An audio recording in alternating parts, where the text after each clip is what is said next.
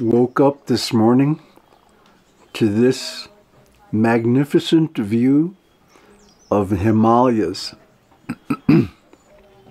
After rain. The air is so clear. And the beauty here is it's so gorgeous. Brings me to tears sometimes. Just exquisite.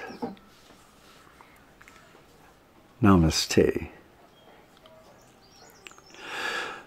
so today i want to continue from last time uh, talking about the three stages of bhakti uh, you've all seen our chart with the stages of the spiritual path and consciousness.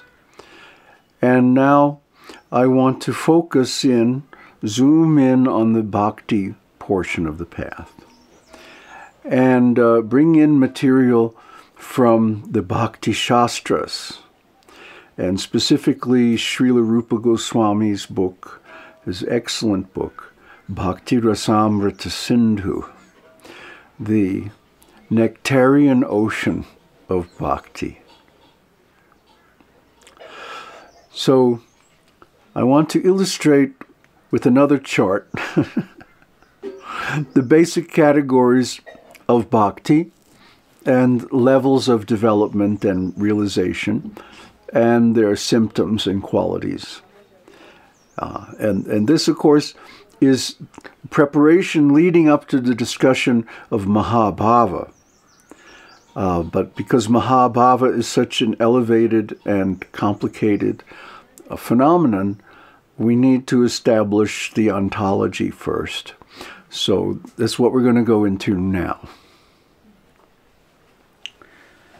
The first stage is called sadhana bhakti, devotional service in practice. Now, this is not really pure bhakti. It's called, it's Mishra bhakti. Huh? Bhakti mixed with karma yoga.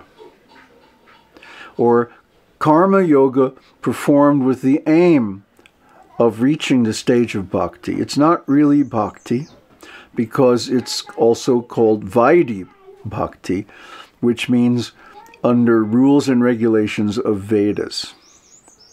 So rules and regulations are not love. Bhakti means love. Love has to be spontaneous. It has to spring spontaneously from the contemplation of the excellent qualities of the beloved, which, of course, in this case, is a form of God or goddess. Uh, there is one God, Brahman, but many forms. Huh? Shiva, Vishnu, Krishna, Narayan, Narayani, Shakti, Kundalini, so many male and female deities. So, uh, when one contemplates the, their qualities, one is inspired and love springs automatically. Uh, but even in devotional service in practice. The first quality is kleshaghni, gives relief from all kinds of material distress. How is that? Uh, we're just doing some spiritual contemplation and, and worship. How can it give us relief from material distress? Well, because another quality is that it gives spiritual pleasure. See, we're in so much trouble in this material world because we seek pleasure from objects that can't really give it or who only give temporary pleasure. But we want unconditional pleasure. We want pleasure always. So we're always frustrated when these material objects don't deliver that. But the uh, spiritual pleasure of bhakti does. So immediately when we connect with God, this is called yoga, uh, connecting with God, um, we feel this spiritual pleasure and it just annihilates all these material desires, makes them irrelevant. And the next quality is Shubhada, cause of all auspiciousness. You know, like some rock star once said, nobody gets out of here alive. This world is a world of tragedy. It's actually uh, tragicomedy, huh? Because here are all these people running around trying to do the impossible. They're trying to enjoy the unenjoyable. They want to live forever in a world that's strictly temporary. So, to get out is the most auspicious thing liberation, moksha, even mukti is a very desirable thing. And devotional service can deliver that. Now, the next stage of devotion is called bhava bhakti. And this is devotional service in ecstasy, spontaneous devotional service. Now, this is beyond rules and regulations. Now, if you talk to the people, you know, who are like uh, commercial bhakti salesmen, they'll tell you this is very, very advanced. Huh? Nonsense. I've seen even young children in spontaneous bhakti. So it's not about following the rules to perfection, huh, as some ill informed and ill motivated people will try to tell you. Uh, it's about transcending the rules altogether and simply following the heart. Once the heart is purified, once the desires are purified, and only God is important, service to God manifests automatically. And that's the beginning of all auspiciousness, of all good things. And then Sudurlabha means pure devotional ecstasy is rarely achieved. Most people get stuck on the rules and regulations because nobody can follow them properly. no one can execute them perfectly in Kali Yuga. So, what is the point of them then? Because you can't win at that game of perfecting all the rules. it's not possible. But trying, making the effort to perfect those rules, purifies us of the things that keep us from realizing our spontaneous love.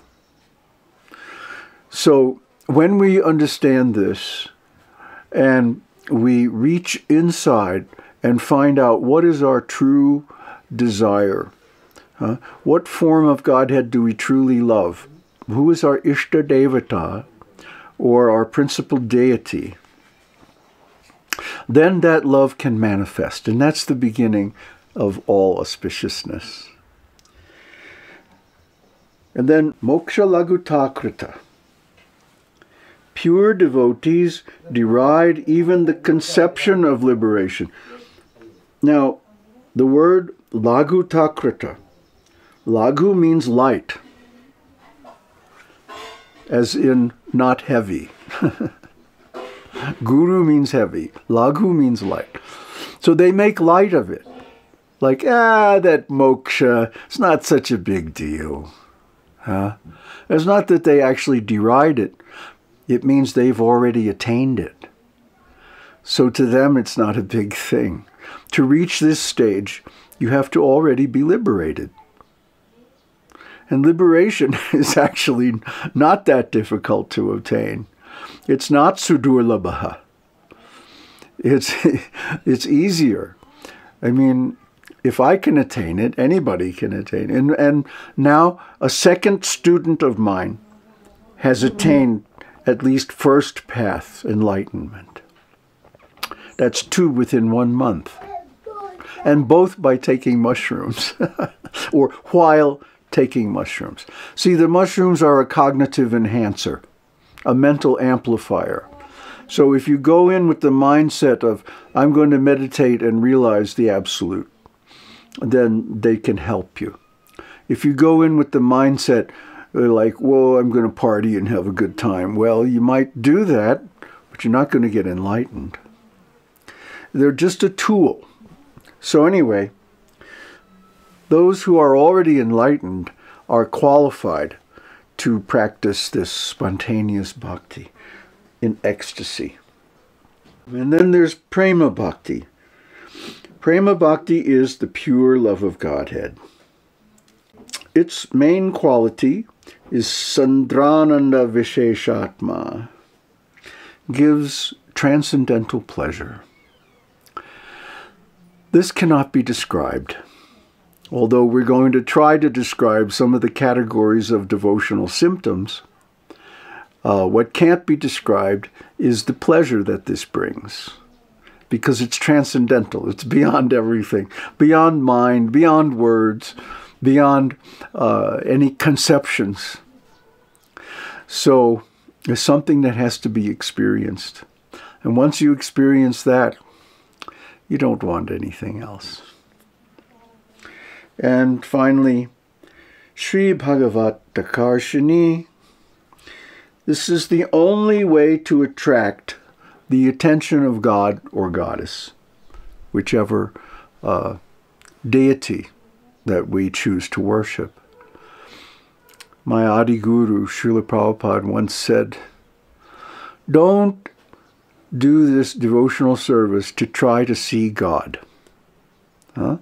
A lot of people are doing all kinds of puja, all kinds of worship, and so on to be able to see God. But he says that's a waste of time. Don't try to see God. Act in such a way that God wants to see you. When you've got God's attention, you've done something really special.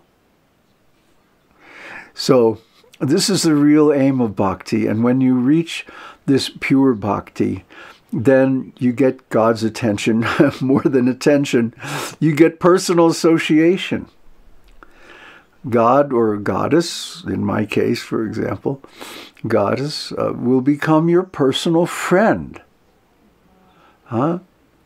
will become intimately involved in your life, will show up in your dreams and talk to you and do all kinds of activities with you in the subtle form.